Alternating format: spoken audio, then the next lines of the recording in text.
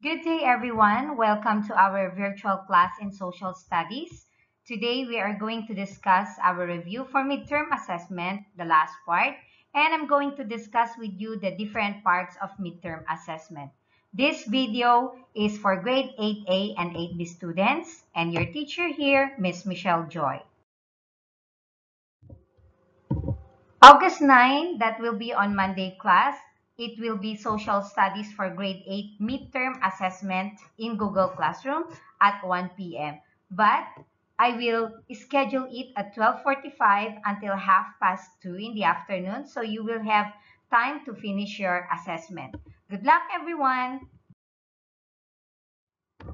So class in social studies midterm assessment for grade 8A and B, these are the pointers to review. What are you going to read? And what are you going to rewatch? Unit 1, Buddhism.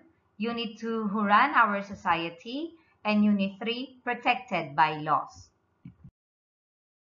Before we proceed with our review today, let's have a short recap or review of the last topics that we had. So the first one is Buddhism. What is Buddhism? Buddhism is a major religion or in a better sense, philosophy. It is the fourth largest religion of the world and has about 300 million people living by it. It explains the purpose of life, injustices, and inequality around the world. It also helps people by providing a way of life that will lead to true happiness. Who run our society? So class, in this topic, we have discussed the five social institutions one by one, which are family, education, government, economics, and religion.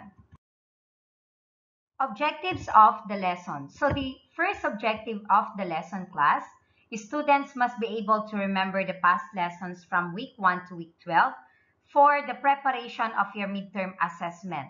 So these topics are units 1, 2, and 3.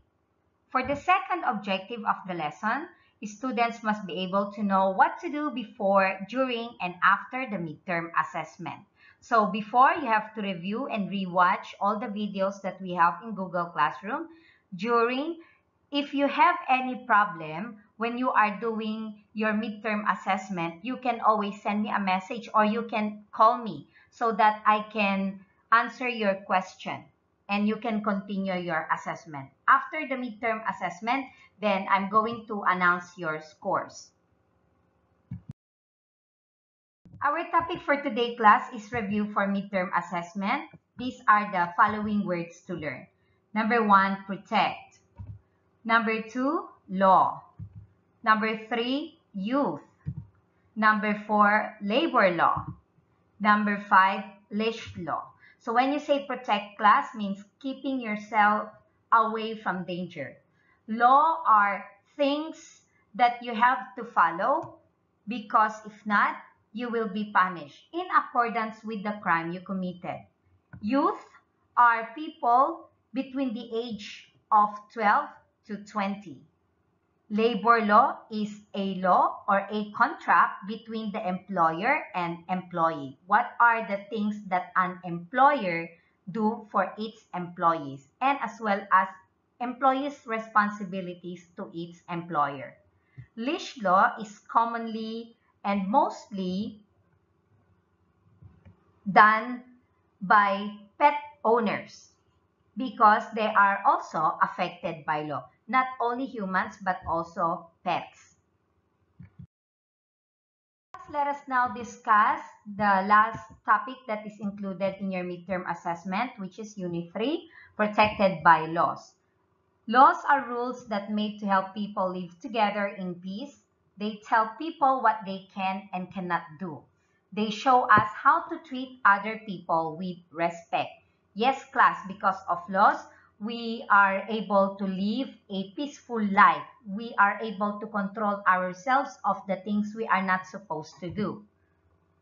Countries often have different laws. Some countries have very strict laws about things which other countries do not really worry about.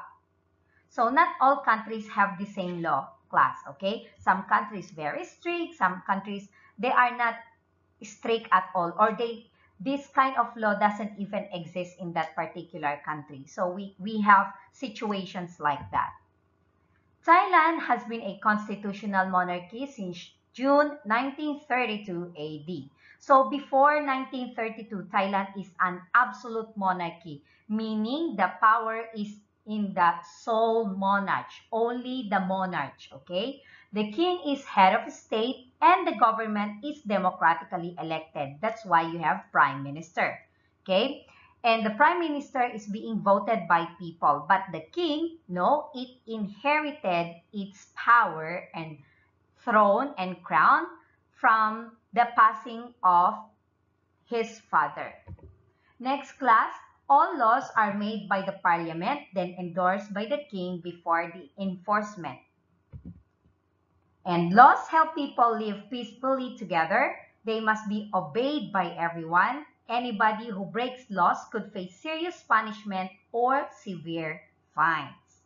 So class, it depends on the crime you committed. If it's serious crime, serious punishment. If it's just like um, no parking but you park your car, then you are just going to pay a certain amount of money as fine.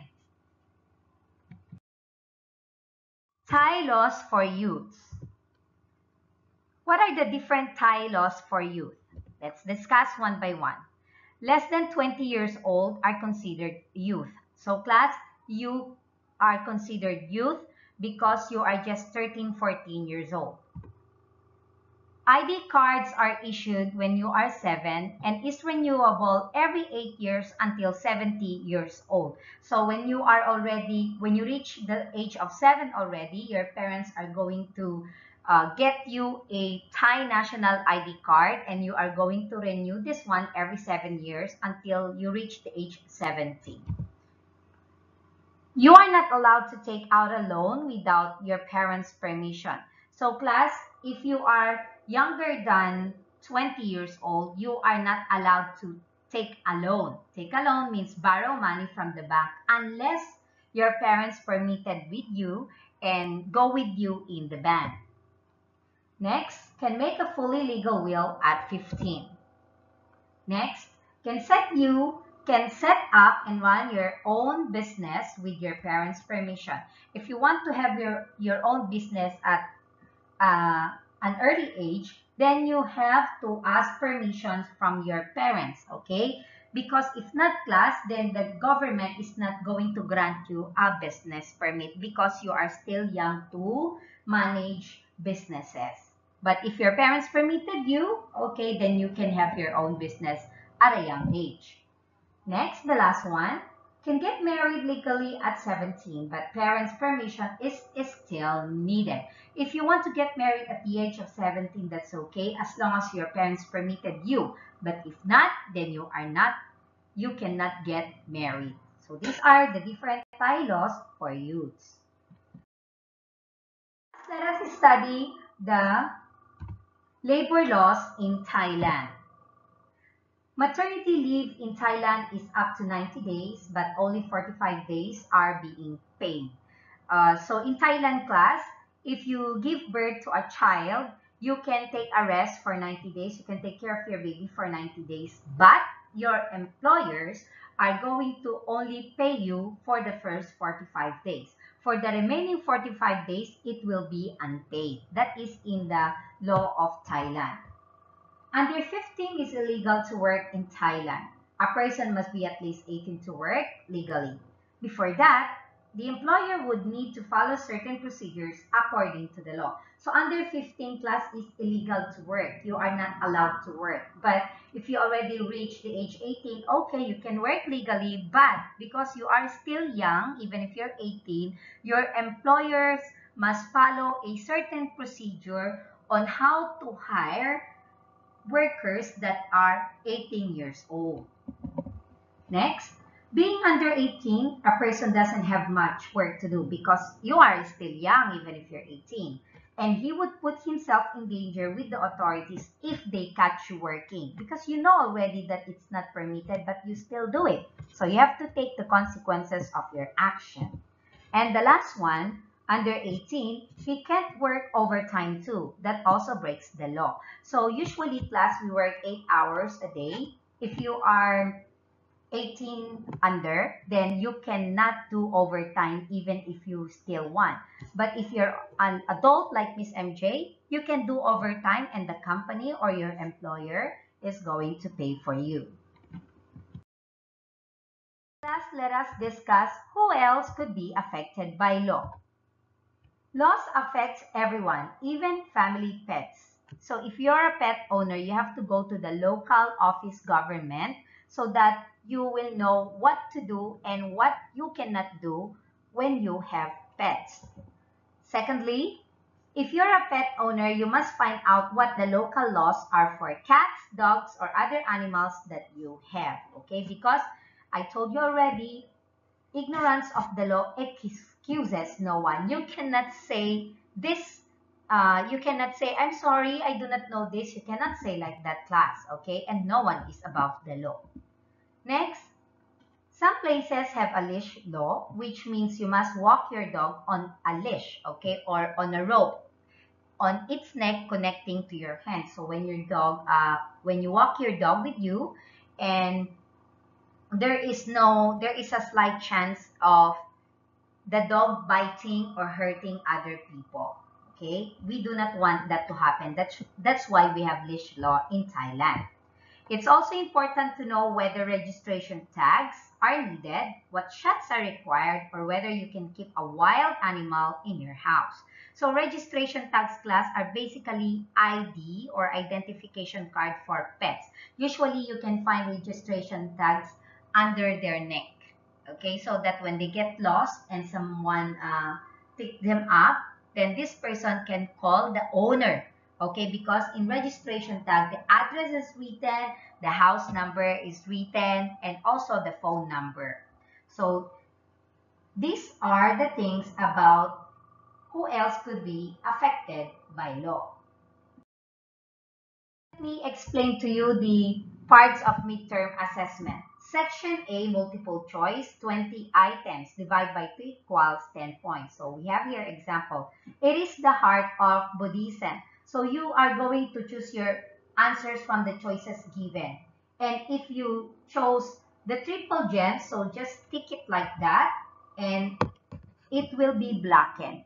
So you're not going to circle A, B, C, D. You're going to tick the circle and it will be blackened, meaning it is the letter of your choice. Section B, matching type, 10 items divided by 2 equals 5 points. So we have sample here. So the choices, family, society, it, it's written from the left side going to the right side. So for matching type, we have part 1, numbers 1 to 5, and part 2, numbers 6 to 10. It is composed of people from all walks of life. So what is the answer? Family or society? So the answer is society. You are going again to tick this one and it will be blackened.